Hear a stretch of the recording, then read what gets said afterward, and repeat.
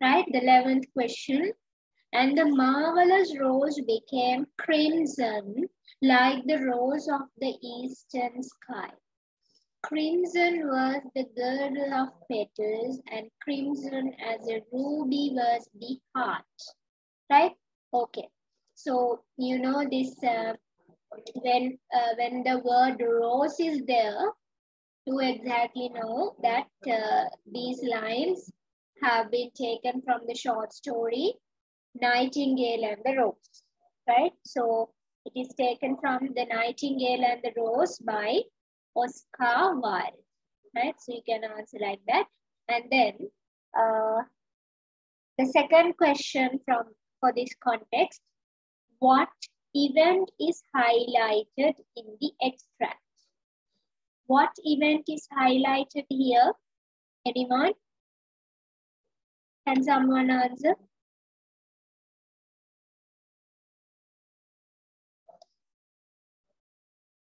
Yes, the blooming of the the blooming of the blooming of the red rose.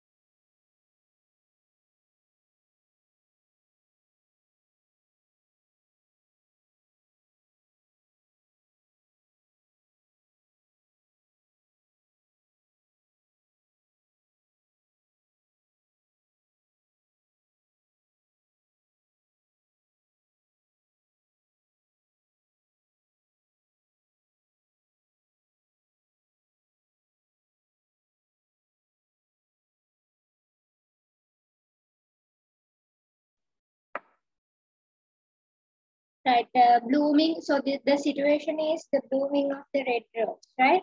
And then how did she, how did this uh, event take place right? It should be event event take place. How it takes place?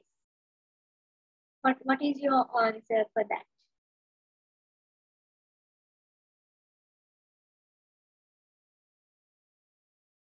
How how it takes place, like, you know, how the red rose blooms. That is what you have to tell.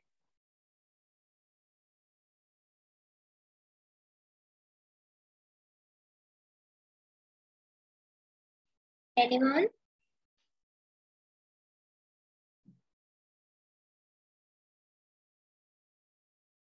Just try to answer. Don't keep silent.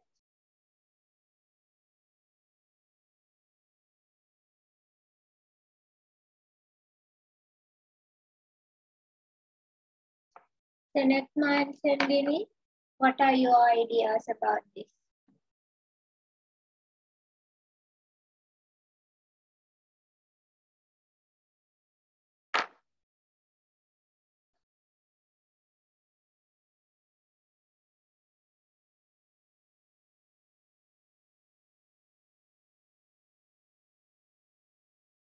No idea. You know, this event takes place with the sacrifice of the nightingale's life, right? The rose blooms with the sacrifice of the nightingale's life.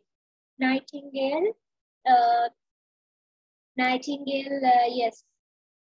Yes, it blooms with the blood of the nightingale. Yes, that also can be taken. Yes.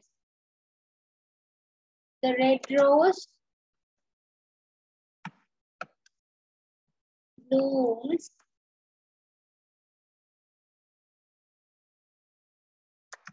with the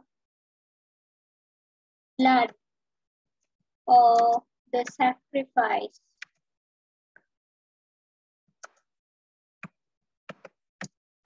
Of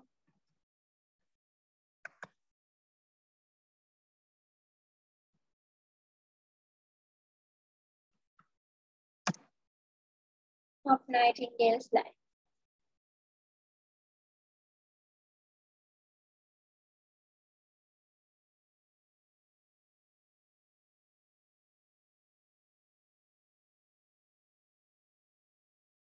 What is the significance of the color image?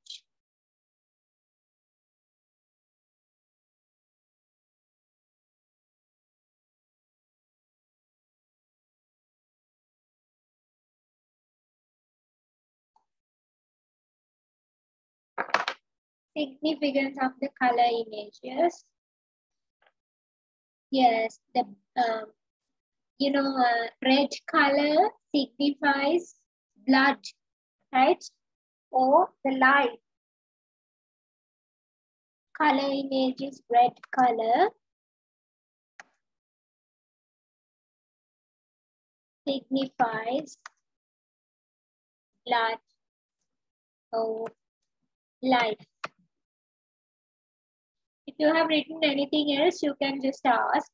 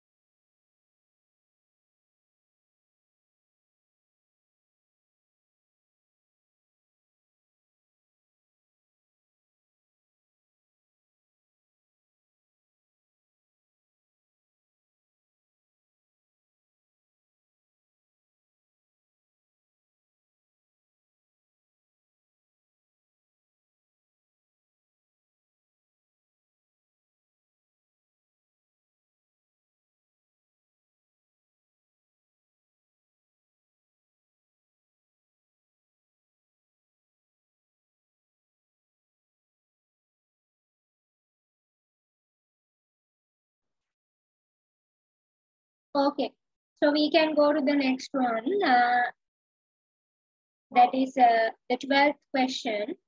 A man dressed in the hunting costume of some remote period had just transfixed a stag with an arrow. So you can remember the incident, right? This is the uh, the lumber room incident where uh, Nicholas is in the lumber room and uh, watching uh, or we can say observing the tapestry, the woolen picture there on the wall of the lumber room, right? Okay, then from whose, uh, so it is uh, taken from the lumber room by Saki. And uh, whose eyes is the situation described? It's obviously from Nicholas' eyes. What is the situation described here? So I have already told the situation. Nicola is in the lumber room and uh, uh, he is watching the, he is observing the tapestry picture on the wall of the lumber room and uh, she, he actually observes it very carefully. Right. Then how does the weaver respond to the picture? How does the weaver respond to the picture? Uh, what aspect of his character is reflected here? Yes, I want your answer for that question. What, how does the weaver respond to this picture? Now it says a man dressed in hunting costume of some remote period had just transfixed a stag with an arrow. Stag ගෝනට raw එකෙන් shoot කරන්න බලාගෙන ඉන්න. So what is the uh, weavers respond to the picture? How do you answer for that question?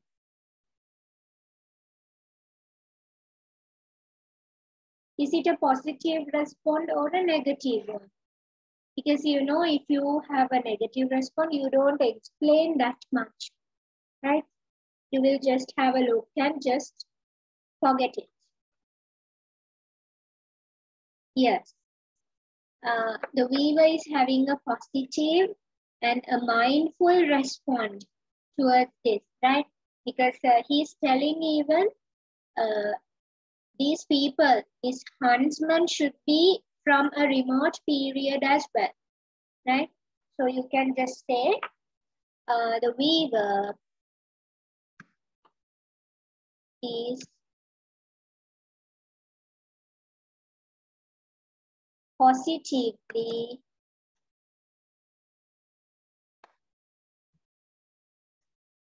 and mindfully response to the picture. And what characteristics of him, what aspects of his character can be seen there? Some qualities. Yes, he's carefully watching it and assuming the things present. Yes. So he's very observant and imaginative, no? He as he is imaginative, he tells that this person is from a remote period and very observant. No? He is observant, imaginative, and thoughtful. Okay, He's uh, observant, imaginative, thoughtful. So when you are asked to describe the character, the aspects of the character, please uh, use some more adjectives. Just uh, do not write only one adjective to describe the character, right? Okay.